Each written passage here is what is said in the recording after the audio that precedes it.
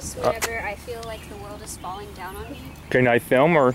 Sure. Okay. Um, it's for God has not given us a spirit of fear, but of power and of love and of a sound mind.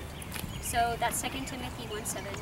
And if at any time in this process you just feel like there's no hope or that um, nothing good can come of this, that's not from God. So don't trust it. So that's what I have to say.